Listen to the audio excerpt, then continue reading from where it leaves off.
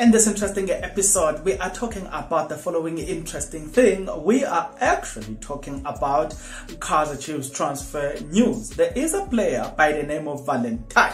He plays or he applied his football trade, uh, look, football trades in Australia.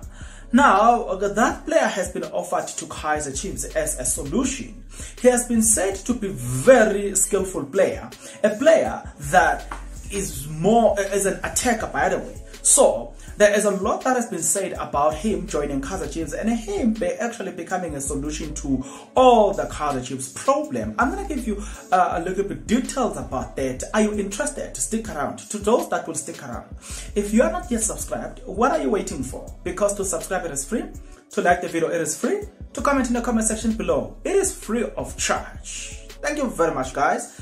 Um, I want to get into this one, guys. And without further ado, guys, I want us to get into what has been said or the recommendation about the player. It goes as follows.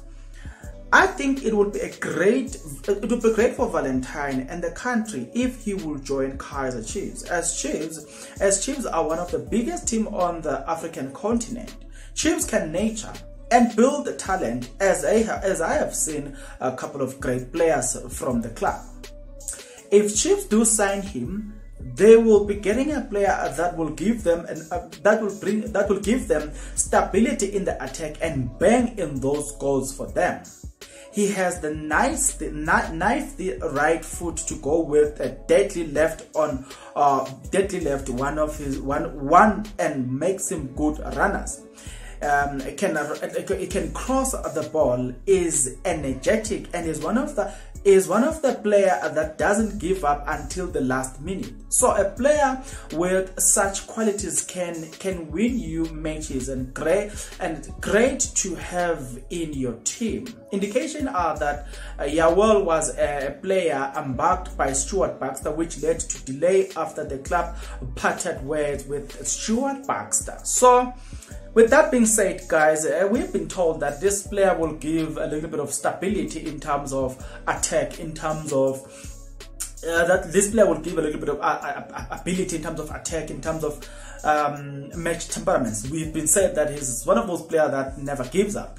You know what I'm saying? So, and it brings good crosses in the box. That's what I have noted about him. Remember, we don't know him. He doesn't play in the DStv Premiership. He doesn't play in the English Premier League. He doesn't play in Bundesliga. He doesn't play in Spain. He doesn't play in Serie A. You know what I'm saying? So those are the leagues that most of the time we follow. That's an honest truth, guys. Now, um, he has been deemed to be a perfect fit for Kaizer Chiefs. Now, also, it has been mentioned that Stuart Baxter spotted this player a long time ago. He wished to bring him to Kaizer Chiefs, but unfortunately, things didn't materialize. Now that uh, Kaizer Chiefs are at the stage where they are, do you think that it is a good thing? Number two, um, which is also the last point here, is that Edge is on his side. So with that being said, remember the words of Junior Kaizer Motaung. He said that he's going to sign young and experienced player. So, do you think that maybe Kaizer should consider signing him, saying that also he is young? You know what I'm saying?